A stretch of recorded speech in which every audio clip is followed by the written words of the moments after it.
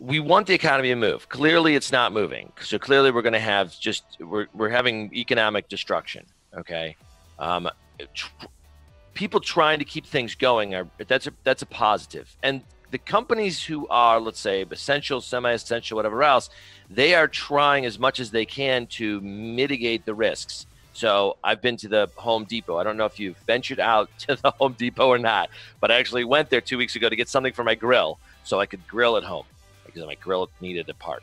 So uh, I went and I, I, had to stand in a line. I had my mask on, my gloves, and the line. There were these stickers. You know, you stand on this sticker, right, or tape or whatever it was. You know, they were like eight, ten feet apart, and then they were only they were keeping a number track of who was in the store, and they only let in a certain number of people in the store, mm. and everybody was far away from each other. So I went and I got my part, and then I went over to the self checkout and I put my thing in, and then I walked out the door, and I was inside the Home Depot for maybe eight minutes total.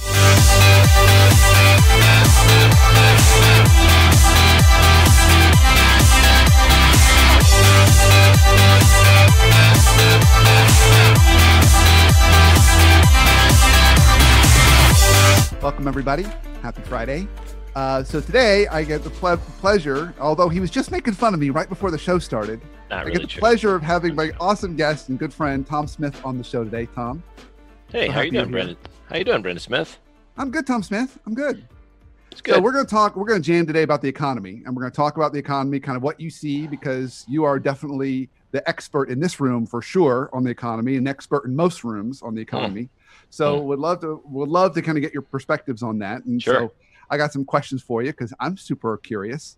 And Okay. of course, um, everyone watching via Facebook Live, you've got all that area there to write questions and ask Tom. So Whitney, my amazing producer uh, and kind of partner in crime, she's going to be helping kind of field questions as well.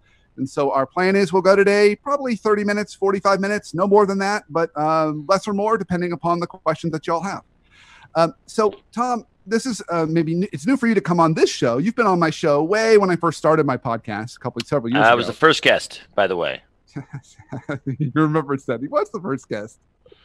I remember how badly I opened that show. I think it Well- took like three or four takes until I Uh, finally. what got I so what I what I do remember was that was that uh, we we were we taped the first guest show, and you didn't want to show the very first first show, so then we taped the second first show.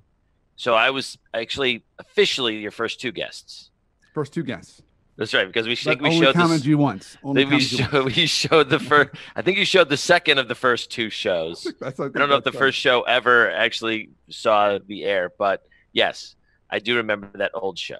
Or I remember that. I, I remember show. that well, experience. it's changed a lot since then. A lot more, Well, a lot more, a lot more bobbleheads. I've got a couple in my office here, um, and so, uh, so Tom, when we did that show, you know, Whitney and Isaac were of course producers, and now kind of Whitney's going to, of course, joining us here today. And so for our show in this format, um, you know, we'll I, I always like to open up by just having us all talk about what's something good that we saw this last week Something good. something something positive because there's enough kind of like uh either negative or uncertainty i always like to talk about kind of good stuff um, Okay. so you know i it, it, I, i've teed that up i i need probably a moment to think of um, a specific one that's different for me because i the last couple it's almost the same story this week they're all good but i want to think about uh, a different one so Whitney, I'm gonna actually gonna let you start today. Do you have something good that happened either with you all this week, your clients this week, something you would lift up and say, you know, that was really good. Uh, I I was hoping I could share another meme that I read. You- you- they are Tom. Hold on tight. It's uh, it's a it's a form of humor. so we have um, our networking group is still meeting uh, like every other Tuesday on Zoom, and so we have our presentation. And part of what we're doing to keep the humor and light mood going is we're sending in memes each week. So this this week I felt like I had like the best meme. Are you ready? Uh, So. uh, are we? I don't know. Are we? You are. It's Okay. good. So it's Chuck Norris sitting in a chair, and it says, Chuck Norris has been exposed to the coronavirus. Coronavirus is now in quarantine for the next two weeks. Nice. And I was like, I could Okay, I like hope one. that would be true. I do like that one. I think that's funny. I Yeah. think Tom likes it too. He's not. No, actually, I had a I had a colleague who uh, was teaching at I want to say it was like Florida State. He's a really good guy. This is uh, maybe 13, 14 years ago when I was interacting with this guy, and he would teach in these big lecture rooms, and every day he would throw some image of Chuck Norris on the screen, just just randomly. And then he would just and whatever he was so he was talking about economics and so he'd be talking about it and Chuck Norris would come up and he'd say, "Yeah, Chuck Norris is going to destroy that demand curve." And then it would just then it would just the lecture would just move on. And so whatever he was talking about monopolies, he'd be like, "Yeah, Chuck Norris, he is a monopoly." And then boom, it would go. It was every class, and I said, "Don't your students get tired of it?" He said, "Actually, not really, because they're wondering where Chuck Norris is going to show Yeah. up in today's That's lecture." a brilliant teaching strategy. It's kind of cool. Yeah, he was a smart dude. when I when I uh, was freshman in college, um, I had a psychology class, 8 a.m. So so freshman year, 8 a.m. psychology class, big lecture hall. Okay. Mhm. And that professor would he would do one of two things. He would either come in to try and get us all woken up and kind of get us engaged, either sometime during the lecture or the beginning. He'd either start making weird noises like whoop whoop whoop, you know, which would kind of what's going on, or now remember he's got a room full of 18 year olds, or Yeah. he would just go sex, sex, sex, sex, sex, Nice, and then, and then he would just go on and keep doing the lecture. nice, nice. we don't have to say yes. that on this show. What just happened? You can say that on this show. Say a lecture on the show. No, Well, that was all right. not the word I was referring to. Oh, okay. Whitney didn't like me saying sex. Oh, I see. Okay. Yeah. All right. So, um, positive thing. Um, well, I, I'll, I'll, I'll do mine last. Tom, how about you? You got a positive thing for you this week? Something you know? Um. So my positive thing is I I I re- reconnected with my with my gym and my trainer, and we worked out a couple times via Facebook. I know uh, FaceTime. You know. Yeah. So I just so I have like the minimum amount of gym equipment in my house, and so uh, we figured out. I mean, he we're doing density blocks and you know lots of lifting and um, lots of you know crazy burpees and stuff like that. I mean, just he just destroyed me uh, in in about 40 minutes when usually takes about an hour. And I was like, "Darn, dude, this is this is good." And he's like, "Yeah, well, we can meet every Tuesday, Thursdays, and Fridays, you know, on uh, FaceTime and just you know we'll work out." And I was like, "That's great," because I hadn't been I hadn't worked out for probably you know four weeks, hadn't been to the gym at all, and he.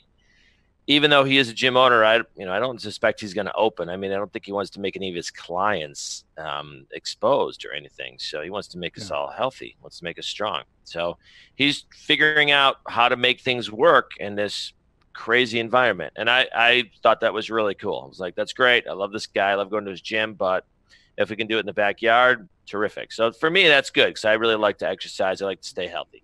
That's I'm super jealous. I'm the same boat. I've I have not had a good workout routine for like four to five weeks. Yeah, no, it's it's if that becomes part of your life, and you need those endorphins. You need, for Yeah. me, I go to the gym. It separates my life. It's my work life. It's not even my home life. It's something else. It's really just very, I guess, very ego Yeah. centric, right? It's all about me, right? At that when it's at the gym, it's all about me. It's all about my health. It's all about my goals. And it's okay. It's okay to like segment some of your time and focus that way on yourself. I think that's Yeah. really valuable. And so the gym is, you know, it's one of my one of the places I go to refocus, re-energize. And so I I love it. My gym routine was very robust before COVID, and now it sucks. And so, but uh, but hopefully we can figure out a way to get it get it back, get a nice routine going. You need more uh, Chuck Norris in your life. I do. I need more Chuck Norris. That is 100 percent true. So I'll, I'll do mine real quick. I would say the the thing it's a small one, but it was a really it's a good thing. Uh, We one of our restaurants it's close to our house. It's an Asian bistro. It's Vu Asian Bistro, and they Cool. reopened for takeout only.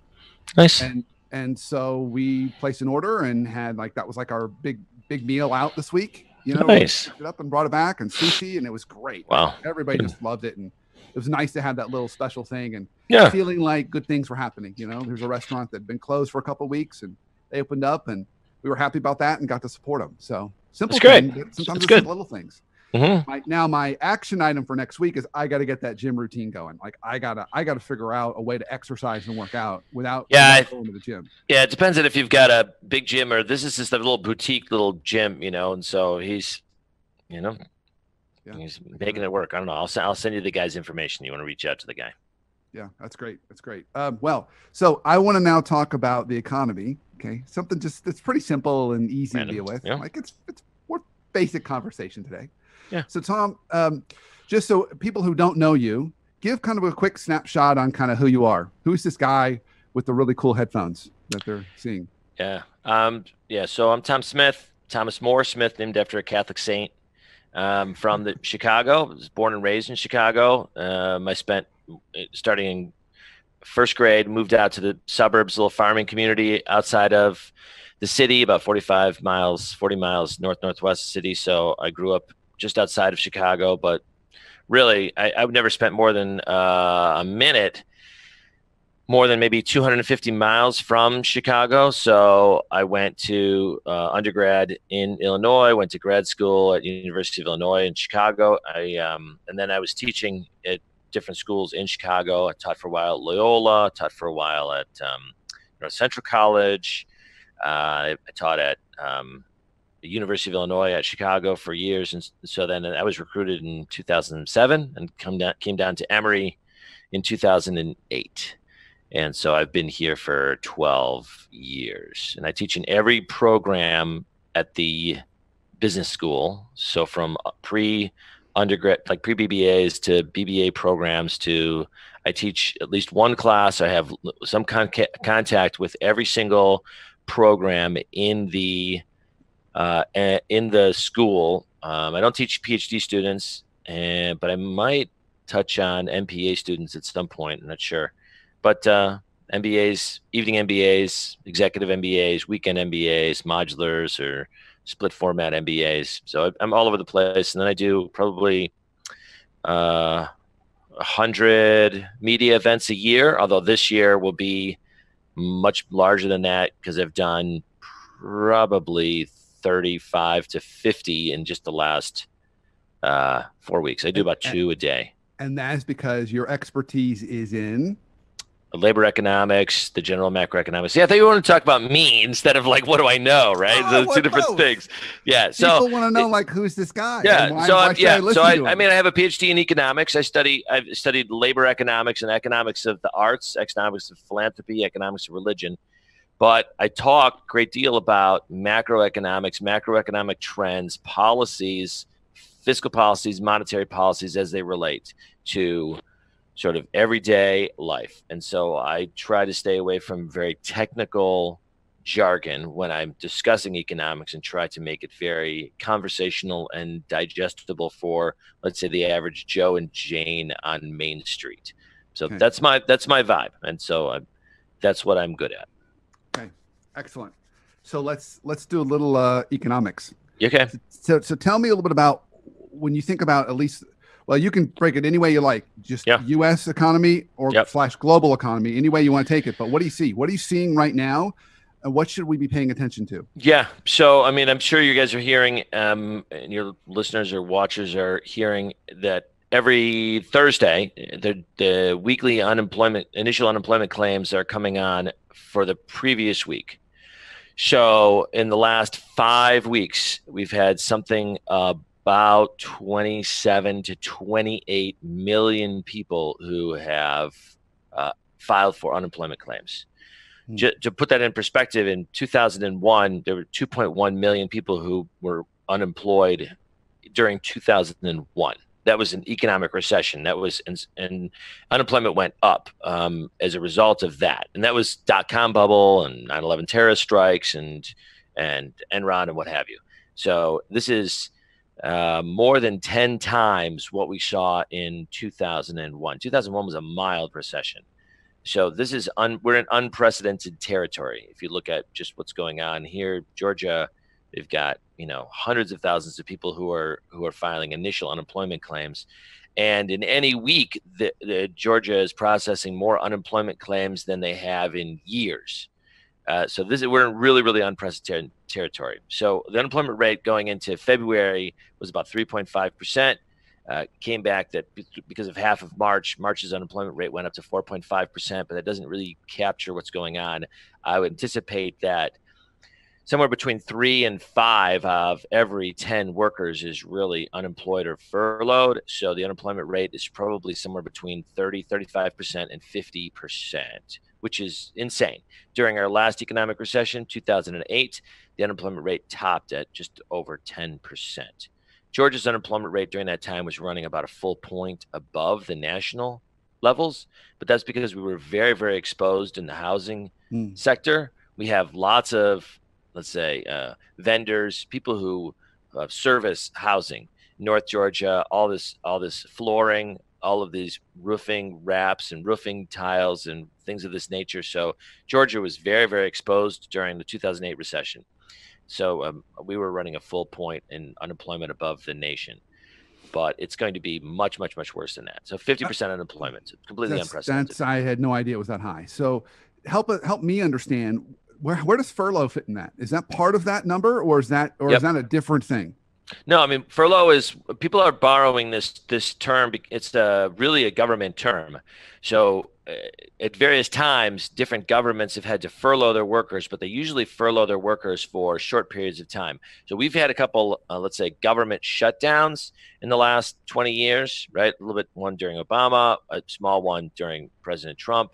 So the government shutdown is they furlough all, let's say, non essential workers. But, but, so furloughing means that you retain your relationship with the employer. So the employee employee still have a relationship. You yeah. just either don't have work for them or you don't pay them for that day. So you say, okay, you're going to furlough on Friday. So my buddy who worked in Chicago for years, every once in a while, Chicago would say, well, because of budget, we're going to have a furlough Friday.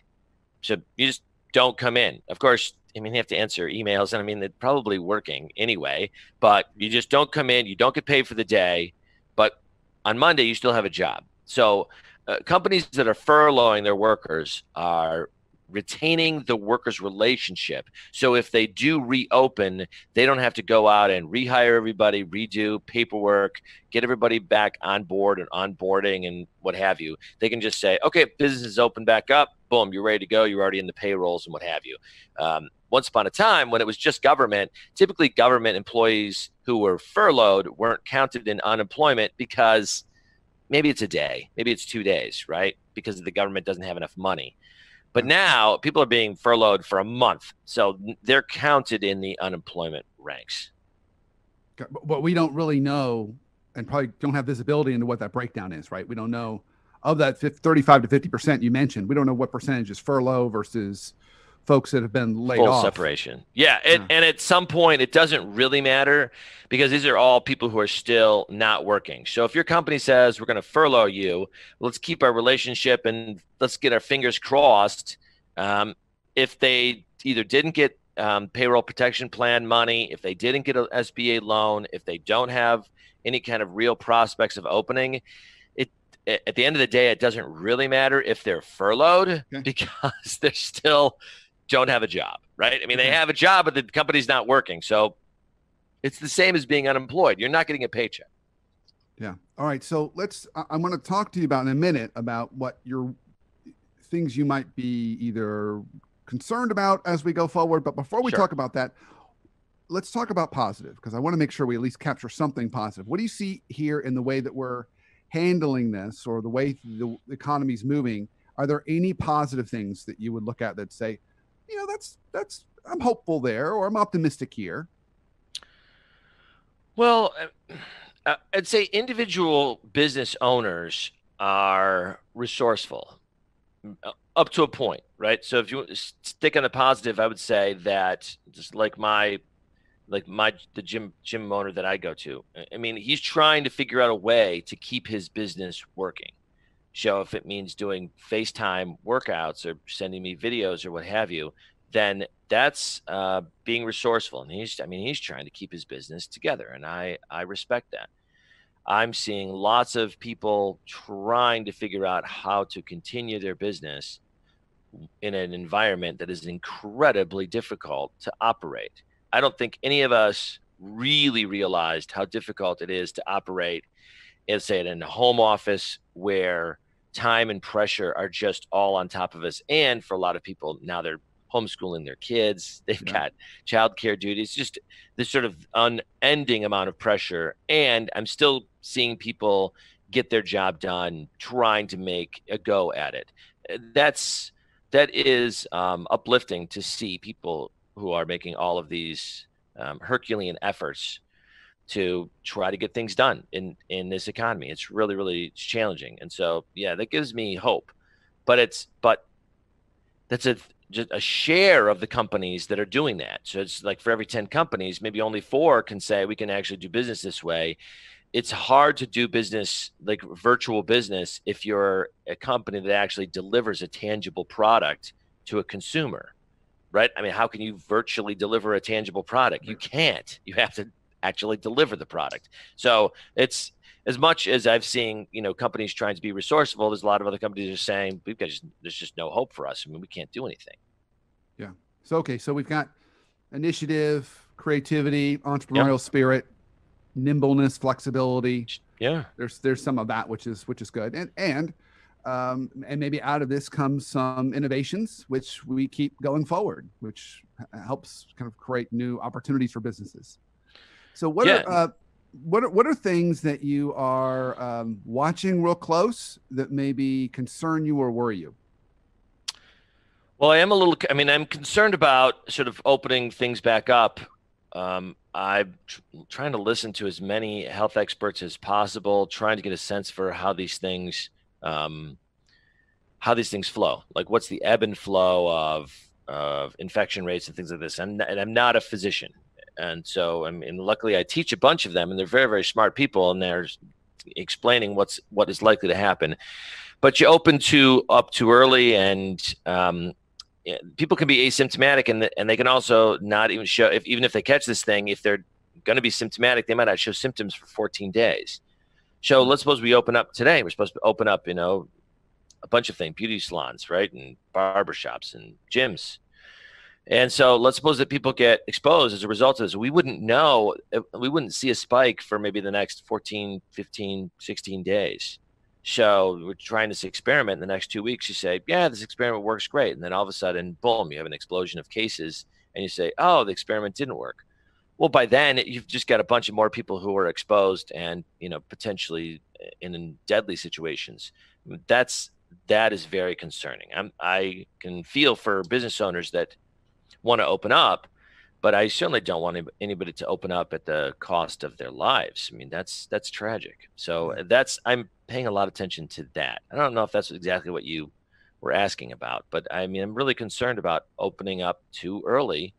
Yeah. Because it's you know we have to get control of this. So here's something I want to take the other side of the coin on that. Um, not not that I agree with you completely. By the way, is there such a thing as opening too late?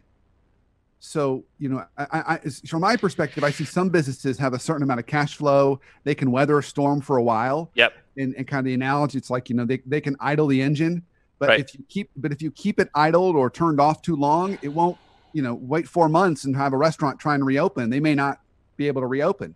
No, so I can, there, I can, yeah, I can appreciate a, from, that. From your, from your perspective, is do you say like, yeah, this would be too late if we go do if we keep everybody shelter in place for six months, for example. I, mean, I don't oh, know what the number is, but I mean, yeah, what's, it, what is what's what's like what's I, too long? I don't hmm, that so that's a tough one. I mean, it's some people would say like a month is too long. I mean, so here's one of the here's something that we've got to think about, and I'm I'm going to move this conversation just a little bit to the left or right, if you will, not politically, just just a little bit sure. off. Yeah. Is that um, is that we want the economy to move. Clearly, it's not moving. So clearly, we're going to have just we're we're having economic destruction. Okay, um, tr- people trying to keep things going are that's a that's a. And the companies who are let's say essential, semi-essential, whatever else, they are trying as much as they can to mitigate the risks. So I've been to the Home Depot. I don't know if you've ventured out to the Home Depot or not, but I actually went there two weeks ago to get something for my grill so I could grill at home because my grill needed a part. So uh, I went and I, I, had to stand in a line. I had my mask on, my gloves, and the line. There were these stickers. You know, you stand on this sticker, right, or tape or whatever it was. You know, they were like eight, ten feet apart, and then they were only they were keeping a number track of who was in the store and they only let in a certain number of people in the store mm. and everybody was far away from each other. So i went and I got my part and then i went over to the self checkout and i put my thing in and then i walked out the door and i was inside the home depot for maybe eight minutes total. Well there's a business that's trying to keep things together right? I mean they're they're not going to be too late like they're open. They're open for business and people know it and they're queuing up outside so you might have to wait for 30 minutes before you get in but you get in you get your stuff you get out. No more kind of laissez-faire shopping if you will. Very very pointed which is fine. Um, if businesses that can do that i think you can open up these businesses and people would have to understand how that works but they could open up. So i mean maybe it's maybe it's just the right time to do that now that everybody is masked up, gloved up, but it should be very purposeful. So it's like, okay, I need to go to Steinmart or Macy's or something. Fine. There's only 50 people in that store. We got someone at one entrance. You're not even allowed in this entrance. You got to go to this entrance. We're tracking everybody. What do you need? I need a new belt. Okay. Wait. Boom. Okay, here's your time. Go in, get your belt. Go in, get your belt. Get out. I mean, it's not, it's not exactly fun shopping, but it's maybe it helps Macy's, maybe it helps you. I mean, those kind of businesses, if done correctly with the right amount of mitigation and all of the virus issues, you could probably open business. So you said the restaurant down the street from your house, they opened up, and but it's takeout only. Um, you know, I mean, if you can do that and it's safe, then it's great. I just read an article about three minutes before coming online that said the risk of actually getting the virus through either a food container or a takeout food container is really, really, really, really, really low. So it's it's the virus. There's not enough of the virus that's sticking to like cardboard and what have you, so that you'll be susceptible. And they said they haven't found anybody who's actually contracted the virus through, let's say, food itself. So this seems to be a pretty safe way of going about uh, getting your meals. And so it makes a lot of sense. If these companies can open up that way, then they probably should. I, I don't think I completely answered your question. Well, I, but here's what I heard in that. I heard you say, rather than thinking about it in terms of like I was, an oversimplistic way of, you know, everything turns on at a certain point, the, the rolling openings, which is what's being proposed, and, and you put a particular angle on the, the businesses that can do rolling, that, that can open, that can control the flow and experience better so you know you're the only one in a store. You're you're buying a product, right? So it's more more purchasing a product. I think where we run into trickier situations is when it's an experience, right? Oh, 100 percent. You know, yeah, that's which is restaurants. You know, maybe hotels to a certain degree, barbershops, beauty salons. Some of those are experiences, a little more hands-on touch. You can't maintain the distancing. It becomes a little, a little yeah. Trickier. Dave and Buster's is not going to work in this environment. Dave and Buster's. Right. I mean, I mean, my kids love Dave and Buster's, right? So you, I mean, but it's there's just no way that Dave and Buster's works in this scenario because I mean, people have got their hands all over all these machines and whatever else, right? Yeah. So I want to um I want to take some questions in a minute. I have one last question for you, and then I want to and then I'm going to turn it to Whitney to see what kind of questions she might have or we've seen on uh, Facebook Live. Okay. My last question is, what can we expect for the end of 2020 and 2021? So if you look in your magic economist crystal ball. Crystal ball, all, all, oh, oh, you know, which is a pretty cool crystal ball. It is. What What do you see in Q4 2020 and first quarter 2021, both from an economy standpoint, but also as individuals? I mean, what what what should we expect? Well, from from our economics, and if we don't get the if we don't get a really good understanding of how to control the virus, how to control the spread, which we have already have some ideas, but we don't know how to stop it then I could see this kind of self quarantining mulling around going all the way through summer and into the fall and then people being bracing for a second wave that could be very very deadly. And so i've read a bunch of articles about wuhan and hubei and second waves coming. Um, that would be scary. And if that's the case then we're looking at you know what i'm calling covid depression right? Just prolonged economic awfulness for maybe the next nine months, right? Maybe all the way until next spring. Like maybe a year from now, we'll be like, wow, that was awful. Like let's let's get things going again. Um, that that's a worst case scenario. Best case scenario would be getting a handle on things and having things starting to roll out a little bit in um, maybe late fall or, or you know end of end of fall, beginning of let's say November, something like that. That's probably best case scenario. In either of those scenarios, I think that the way the consumers are going to be spending and the kinds of goods that are going to be offered are going to be completely different than what we saw before. So, you know, after after 9/11, after 2001, uh, we you know we, the way we travel was changed 100%. Some goods that were being offered just weren't offered anymore. I mean, nobody thought you know going through body scanners was going to be um, was going to be the way of business. But you know, I mean, 19 years later, like yeah, this is what we do. We have to buy our water on the other side, or we have to bring a water bottle through, or you know, and so there are limitations, and that's what it is, and we live with that. I think we're going to have to live with it in a different kind of a world. And so I wouldn't be surprised if, when this all gets said and done, that you're heading into, let's say, a grocery store. Let's say a year from now, you're heading into a grocery store, and there is right there um, a little box with the rubber gloves, right, and a mask. You're just like, oh, grab your mask, grab your gloves before you come in the store. And if somebody sees you without it, they're like, no, no, no, you can't come into my store without mask and gloves right? And you're just like, okay. And you you walk in and you're like, okay, I got to put the gloves on, I got to put a mask on to go buy my Lucky Charms. Like I could totally envision that that's the way the business is going to go because people will say, I just we just can't take chances like this anymore. Now we always always have to be vigilant. Yeah, that's a I think that's a realistic model. And some places that that we've grown to love just maybe just not done ever come back. So movie theaters, it might be that movie theaters just never really come back. People say, "Yeah, I can stream the movie," or the or the studios actually end up having release parties right to your house. So they say, "Okay, the new James Bond movie is going to be you know released this Friday." You know, so eight o'clock, at eight o'clock, at ten o'clock, at midnight, at two in the morning. You know, for twenty dollars, you and your friends can sign up, get your own popcorn, get your own blankie, sit down, and boom, there's James Bond for you. And you go, "Wow, I didn't even have to go to the theater. Right here, this is it. We just watched James Bond in our living room. I anticipate that we're going to see products that look just like that. Our industry is going to maneuver to make us safer or you know uh, keep us um, uh, keep us keep us safe. Yeah. Wow. Uh, okay, so Whitney, have there been any particular questions on Facebook that we want to throw Tom's way? Yeah. So Stephanie, Kristen, Emily, you're all watching. Um, a question what way and is there a way companies and businesses can prepare for the future? So if we have something similar that happens like this down the road, what are some things we can do at this point to prepare for the future? Tom, what do you think? That's to you.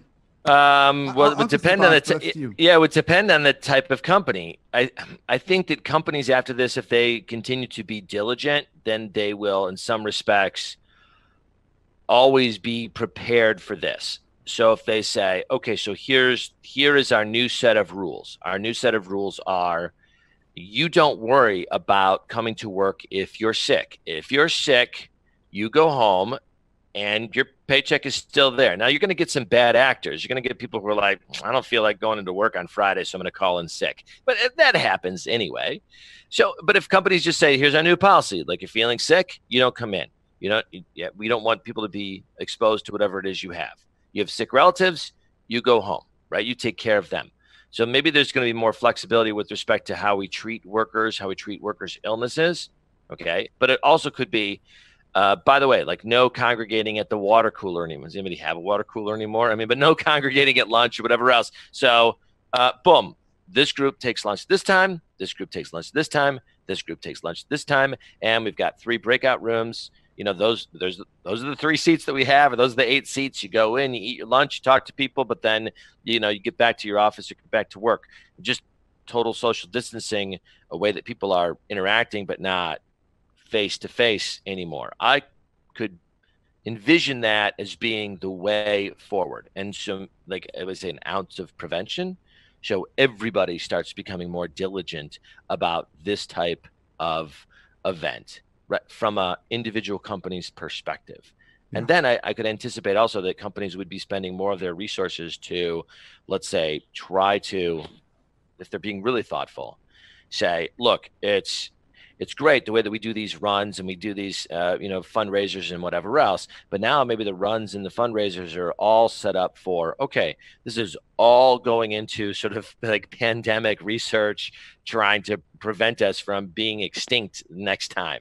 And so just all efforts are focused on here's who's working in these areas this is the kind of research that needs to be done you know let's give these people you know the resources that we need. And and so i mean I'm seeing that happen right now, where every chance that I'm, I, we're seeing our students, our MBA students, their funds are going towards the hospitals, their funds are going towards doctors, their class gifts are going towards you know people who are on the front line of this. And so I'm already seeing people saying, okay, well these people need resources, then we should just funnel our resources that direction. So I think firms being thoughtful are going to start thinking about okay how do i make sure that the people who keep us safe yeah. are taken care of I love that. I think the only thing I would add to it is that to your to your point in terms of how people work, I think we're going to get much more comfortable with pe- people working remotely, and and we may have more policies in place that allow people to do it. Like every Friday you can work from home, or every Monday and Friday you can work from home. There'll still be times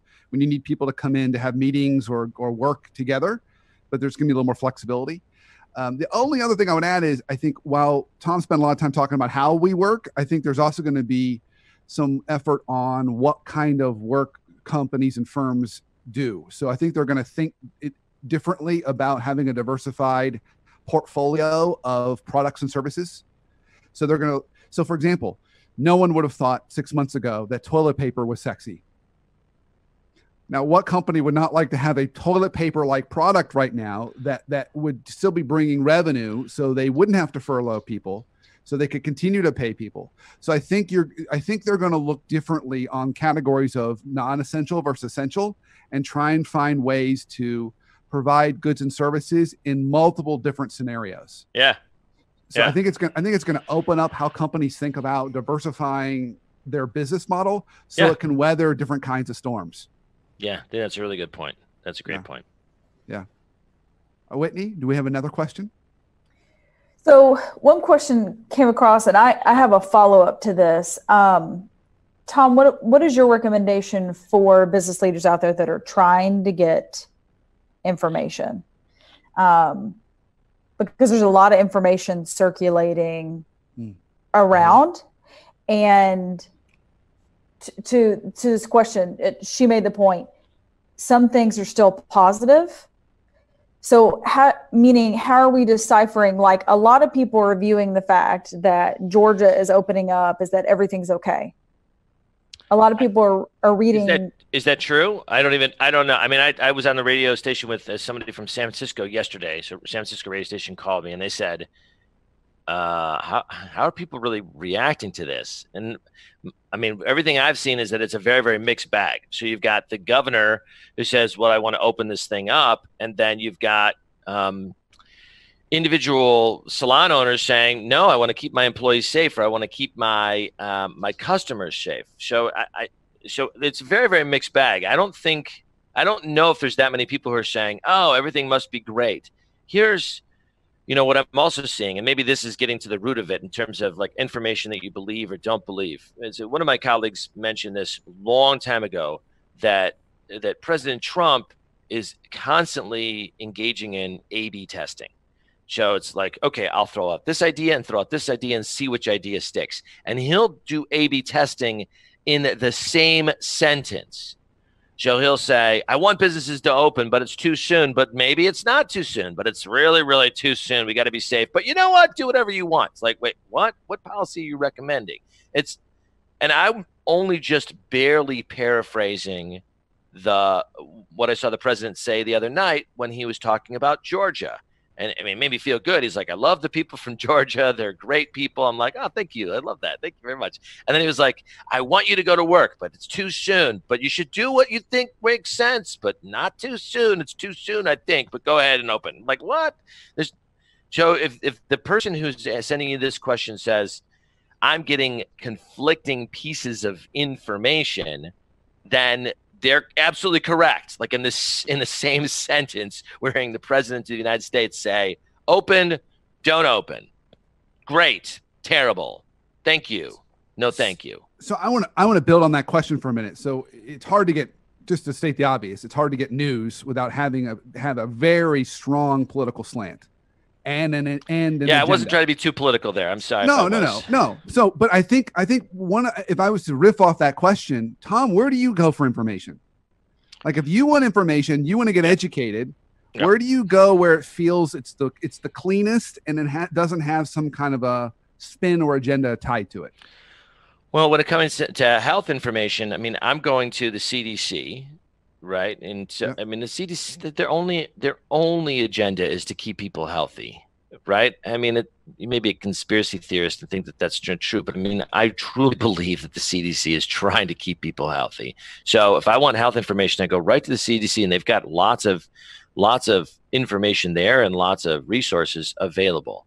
If I'm looking at economic information, I'm going to the Federal Reserve website. I'm going to the Bureau of Labor Statistics. I'm going to the Bureau of Economic Analysis. I'm looking at you know, the Fred St. Louis. I'm looking at the data, right? And then I read everything. So you know, I'm reading articles that are on uh, that are on uh, HuffPost, and I'm reading articles on CNN and Financial Times and Wall Street Journal, right? And you might say, well, those are all you know in the same bent. Not really. I mean, Wall Street Journal is a pretty conservative um, publication. I mean, their op-ed page is like very, very conservative. And you say, so is there some information you can get from looking at, let's say, something that's maybe much more liberal bent or something that's much more conservative bent? Yeah, like understanding the full spectrum of perspectives and also the full spectrum of information. So like spending 30 minutes reading New York Times, spend 30 minutes reading Wall Street Journal, spend 30 minutes going over stories on CNN, spend 30 minutes going over Market Watch, Reuters,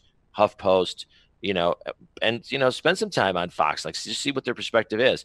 I'm getting full information from everybody so that uh so that if I'm asked a question, I can say, okay, well, over here they're saying this, over here they're saying this. This is a consensus idea.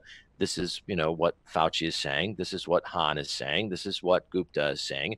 And I mean, by adding in all those perspectives, then you can say, well, so what the big takeaway is this. Yeah, that's what the big takeaway is. So, you know, just be informed, be educated. Uh, don't get all your information from one source. I mean, you might not have time to do it, but I think our lives depend on us being super informed right now. Yeah, that's really great. So, Whitney, is there another question? Because I do have a closing question for Tom before we end today. Good. We're, we're good. Okay. So, Tom, I'm going to close with this. Um, so, for if you think about our our listeners, so it's probably going to be they could be, you know, 45 year old director level. They've got a couple kids. They're working from home, or it could be a small business owner. But if you think about kind of that listener kind of base, it's kind of sitting in the middle like that in terms of life stage and all the moving parts. Yeah. Uh, what piece of advice would you have for us? What is something that we could do today that would be a good thing, either from a life perspective, economic perspective, just any kind of nugget you've got for us? Well, I mean, only, I mean, I'm an economist, and so I mean, I, I look at the, at the world through an economics lens, if you will. So the perspective I would say would be that we've lived through really terrible recessions, um, and we're we're going to come out of this, but you have to just change your let's say where the goalpost is and just understand that it's going to take diligence and just some incredible sacrifice and perseverance to get out of this. It, so it's I don't think it's going to serve anybody well to think that there's going to be a light switch in January, uh, in July, and all of a sudden the economy is back to where it was prior to this. I mean, our economy was in amazingly good shape. Uh, some hints of an economic recession maybe on the horizon, but on 3.5% unemployment is amazing, right? It just where the stock market was was amazing. People are going to have to be diligent going forward. So there's no magic, right? There's no, there's no, you know, there's nothing that's going to say, ah, the economy's back. So fine, then reserve yourself to the fact that it's going to take time and effort and diligence. Now, plan, plan, plan, plan, plan, plan. Go through your family budget, go through your company's budget. Try to make every dollar count, every cent count right? And if you do those exercises, I mean, you'll find things. You'll say, "There's an opportunity for me to.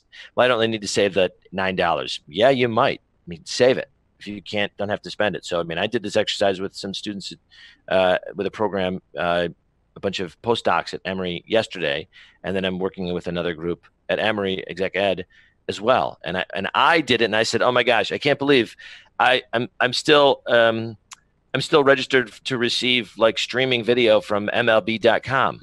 I got to go cancel that. Like, there's no baseball season, and there's not likely to be a baseball season I want to watch. So, and I'm a baseball junkie okay, I'm going to cancel that. Oh my gosh, my Comcast has like, you know, I could watch the playoffs for NHL hockey. I can watch the playoffs for basketball.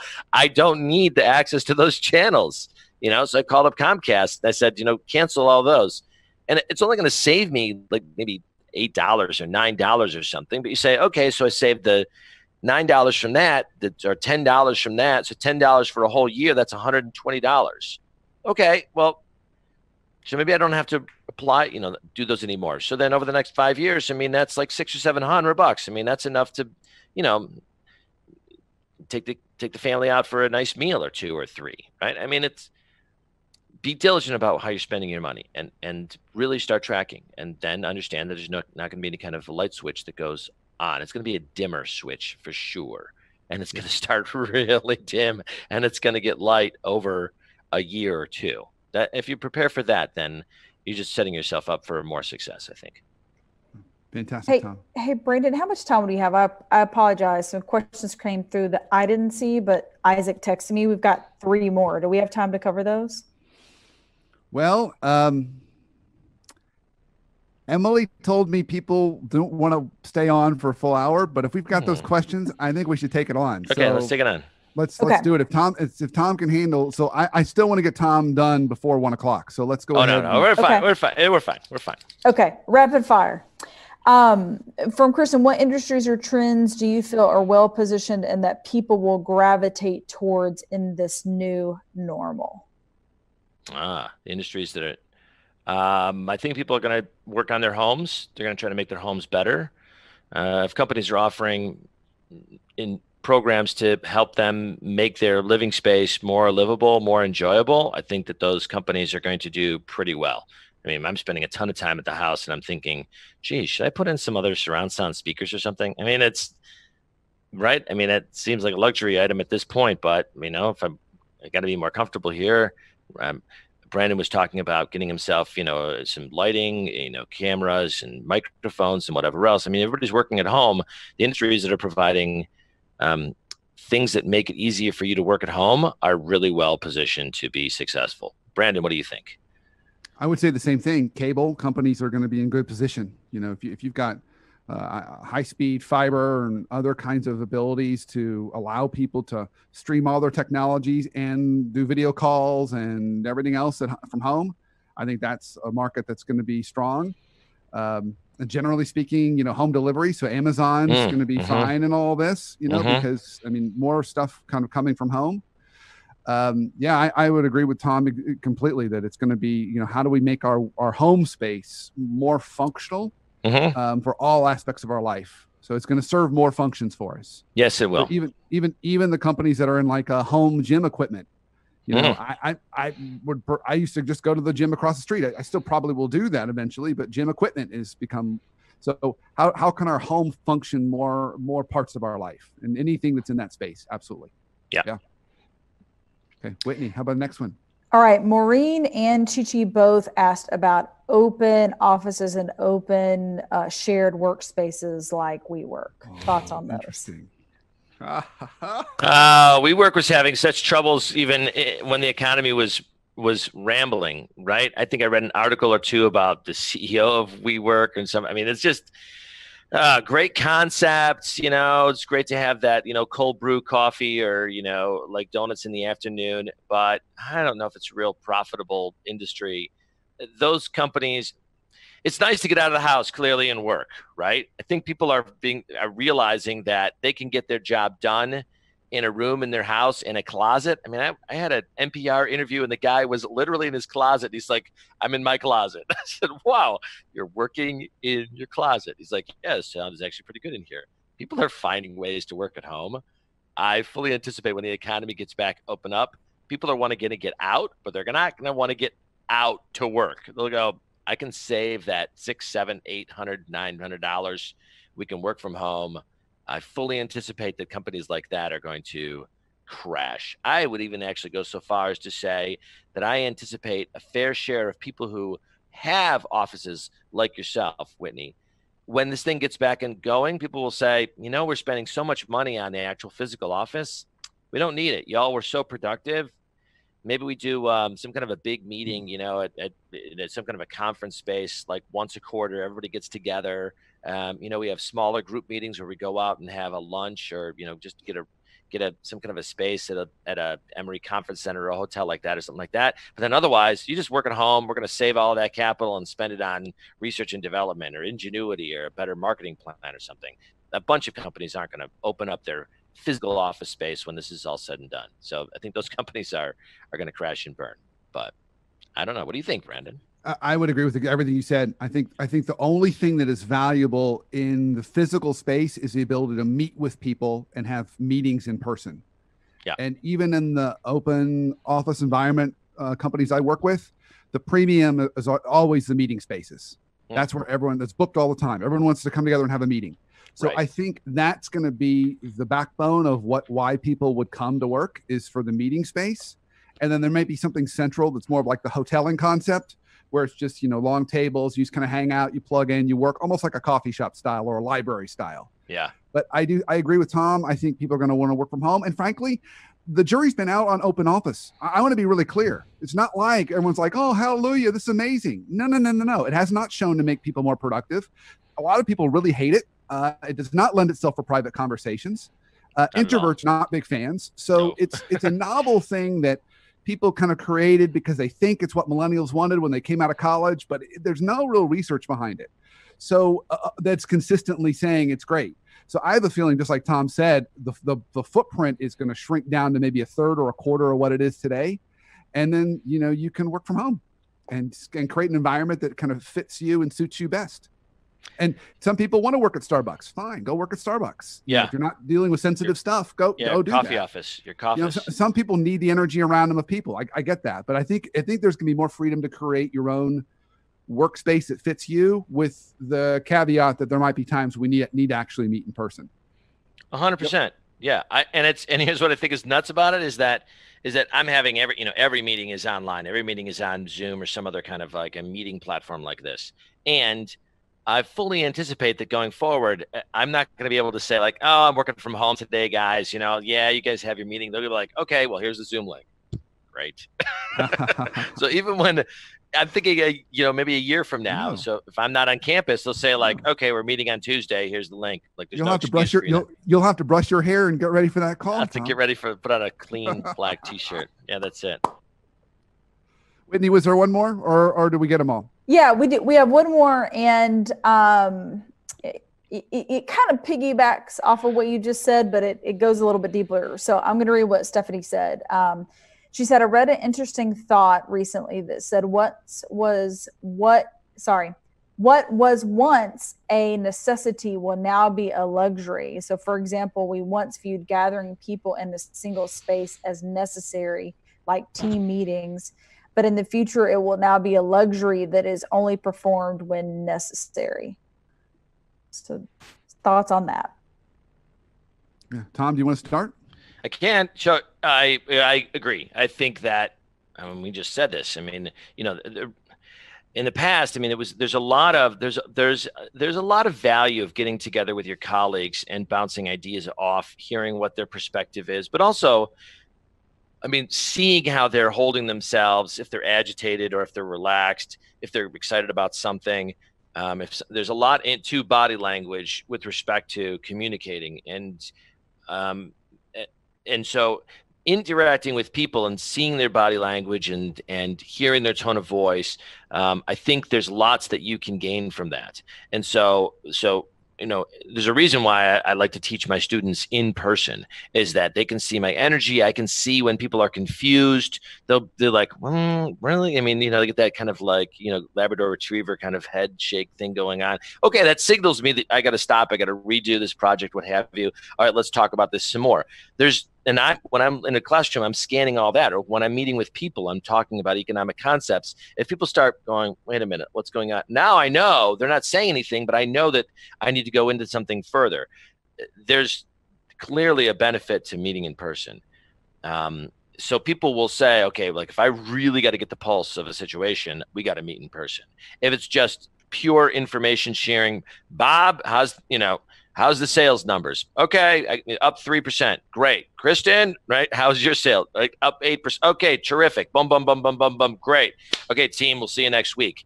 That's not going to have to be in person. So people are going to then pick and choose which is the more important meeting versus the more just sort of informational meeting with respect to actually like putting yourself at a you know a, a hand's distance from somebody so i'm a, i'll close by kind of riffing off that idea so if we take that idea and say what we thought was a necessity becomes a luxury yeah. it's like all these experiences we had in person you could put on a spectrum some are you know high value kind of luxury kind of experiences and some are just you know day to day we just think of kind of blocking and tackling necessities whether that's meetings where it's it's been a waste of time at, at some points, and now we think more mm-hmm. efficiently about meetings. But even going to restaurants. So, like, take the restaurant mm. idea. What if we start to treat going to a restaurant as a luxury instead of a necessity? yeah. Then all of a sudden, the restaurants that are going to uh, be able to survive that are going to have to create truly memorable experiences. Right. For us to just show up. yeah. It can't just be a table and oh. food because why would I do that? And, you know, I could just order and pick it up or have it, you know, delivered to my house, you know. So it would have to be a, a real memorable experience, which makes it more of a luxury. So yeah. maybe we lose that spectrum a little bit and it starts to, you know, we, we, we start to kind of move down a little bit more in this, you know, if we're going to meet, it's got to be, you know, a really important, powerful event, not just, not just a, a meeting at one o'clock because I don't know, I'll just call a bunch of people and we'll all show up and do stuff it's going to have a lot more planning and effort put into it. This is not this is not nearly as as so some people might say, no, no, no, I don't think that could happen. Think about this, Brandon, when when you and I, because you and I are about the same age, if we went to let's say the theater, like to go see a play when we were younger, this was an event. Like people dressed up like you had to get on like your sunday church clothes. I mean that's that's how it was described to my family like get on your church clothes. We're going to the theater. Like wow that's awesome. Right? And so and it was an event right? And just i mean so even even i mean even going to church was an event right? It's like you got to get in your church clothes to go to church. Now people are like eh, i'm gonna wear flip-flops and sandals. It's so much more casual and it's so chill which is great for some people but i could totally imagine it the pendulum swinging back wow. and going back to that okay when it's the theater it's like now it's an event. Like everybody gets dressed to the nines. Like whoa we're going out we're going to interact with people. We're going to be close to people, sitting next to people like this. Like amazing. Let's go do this. I could I could see it the pendulum swinging back. That would be interesting. I would like that to really interesting. I would like to have to dress up to go to the theater again. I, would like to have really, to dress up. well, I mean, that's that kind of almost goes back in time, right? That's how people used to walk around in the world in the 20s, 30s, 40s. You wore a suit, you wore a hat, you wore dress. I mean, you were dressed up. Yeah, I mean, think. I mean, it was a signal to say. Probably it was a signal to say, you know, I'm I'm, I'm worthy. like, I'm clean. I'm, I'm, worthy. I'm not right? Yeah. yes. Yes. Exactly. you know? Yeah. Whereas, I, whereas be wearing sweatpants and flip flops and you got like mustard stain on your shirt. Yeah. no. No. No. Signals exactly. like uh, I'm not clean. Exactly. You might want to keep 12 feet from me. yeah, yeah, I could, I could see it. I, I could see these what goods that we take as being commonplace all of a sudden become mm. Just a, a very, very not so commonplace. So I, I don't know. Mm. Interest, interesting. I'm I'm I'm curious to see what the future brings, but I'm hopeful. Yeah. I'm gonna go put on my suit. okay, good idea. Me too. do that.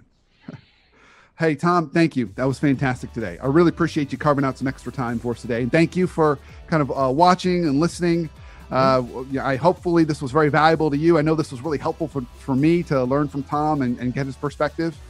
And of course, you can check out some of our, our past shows both on uh, the workplacetherapist.com and even if you're not subscribing to iTunes, of course, do that too. That's how we kind of get grow our tribe. And so until our next show next week, have a really great week, really safe week, and an awesome life. So bye everybody. Wave wave bye to Tom.